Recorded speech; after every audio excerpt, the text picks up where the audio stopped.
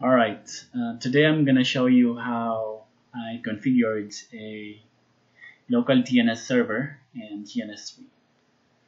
So I actually used uh, DNS mask Docker here. So here. So what I did, I downloaded uh, a, this uh, Dnsmasq. It's uh, free from uh, GNS3.com uh, marketplace and I think appliance. So yeah um, so I just uh, uh, created this uh, topology here and I added this uh, NAT cloud for these devices to get to the internet and also I mean uh, when I say devices this R1 and R2 and uh, DNS DNS server. so yeah, and this is uh, the uh, Dnsmasq uh, Docker here. I just named it uh, DNS server. So yeah, I'm gonna show you the configuration or the uh, procedure that uh, I did. Uh, so I just uh, configured uh, the uh, Ethernet 0 on the DNS server. So here, so let me actually show you how you can check this on the DNS server. So console. So I'm just gonna do cat So here, this is what I did. I just uh, uncommented the uh, this part here. So this is the IP address on the uh, that I con that I configured on the on that port, and this is the net mask. this is the IP address of the uh, NAT cloud as you can see as you can see here.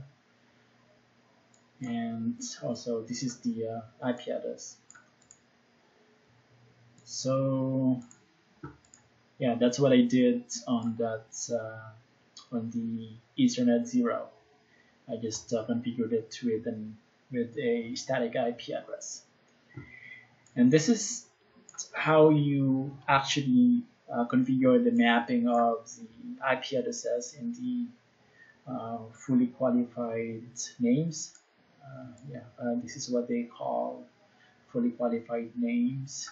So R1.lab, R2.lab, and this is just the short names, R1 and R2.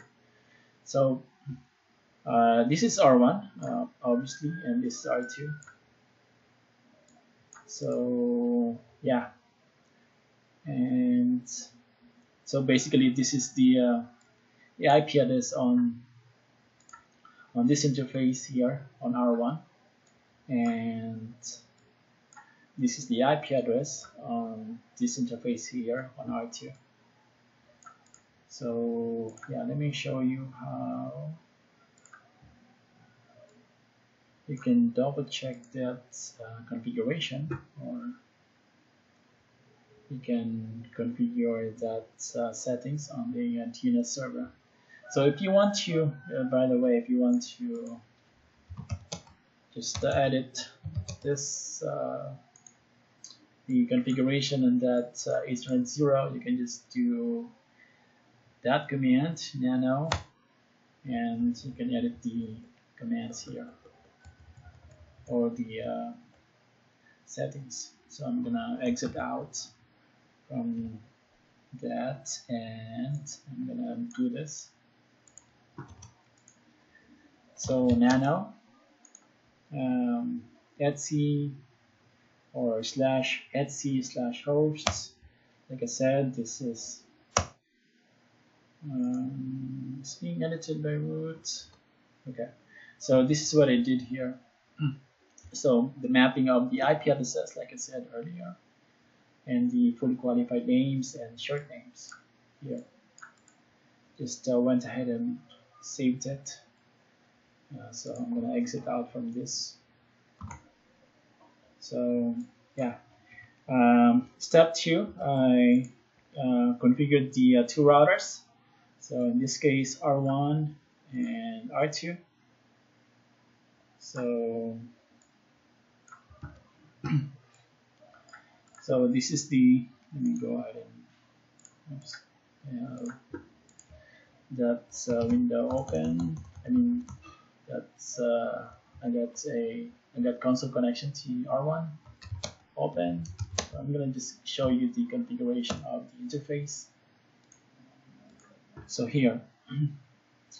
So let me do this command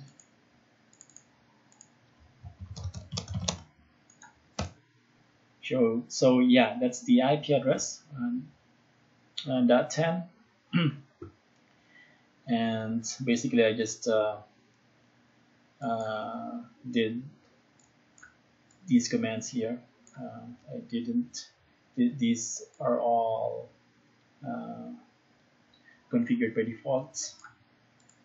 And also IP domain lookup is should be configured by default, but uh, I went ahead and typed it anyway. And this is how you can uh, configure the DNS. Uh, I mean, specify the DNS uh, IP address on the uh, router. So let me go ahead and show that to you. Name, yeah, and I configured this uh, default route for that uh, uh, device to get to the internet. So let me show that to you also. Yeah. And if I do a show IP route, you can see that I have a default route uh, pointing to this, uh, pointing to the NAT, uh, NAT cloud. So yeah, so it's uh, pretty much the same uh, configuration on R2. So uh, I guess the, uh, the IP address is different, right? Uh, the only difference is the IP address here, dot 11, and on R1, dot uh, 10. So yeah, um, step three, uh, basically um, once you configured all these uh, commands here, uh, you're done with the configuration. And you can verify your configuration by doing by pinging a couple of websites from the routers and also from the DNS server. So I'm gonna go ahead and ping Google from R1 and see if it's and see if the uh, local DNS uh, will resol resolve that uh, domain name into IP address. So it looks like um, it uh, resolves that uh, domain name. So you can see that this is the uh, local DNS IP address. So here and by the way, if you want to verify the IP address on the uh, that uh, Ethernet 0 port, you can do this. So Ethernet uh, port, you can do this command ifconfig, and this is the IP address subnet mask. So yeah, um, looks like uh, that ping works. And let me do Cisco. Yeah, it works also. And I can, I, I will actually go ahead and ping R2, the uh, short name.